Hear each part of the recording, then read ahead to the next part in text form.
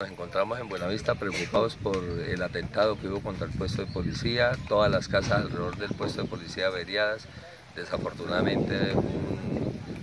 policía muerto, un intendente de la policía muerto, dos funcionarios de la Policía Nacional, uno herido, el eh, puesto de policía completamente destruido, el corregimiento sin energía eléctrica y eh, rechazamos cualquier acto violento, violento perdón, contra la, cualquier institución del Estado o contra la comunidad. Así que vamos para adelante, apoyar a la comunidad, a quienes perdieron sus bienes, como les colaboramos, pero no están solos en Buenavista. Bueno, la alcaldía municipal está comprometida, vamos a enviar unas ayudas unas colchonetas para los oficiales de policía que llegan, vamos a enviar comida para la, los oficiales de policía y para el cuerpo de policía, vamos a ayudarles con la recuperación de las viviendas también a estas familias que aquí lo perdieron.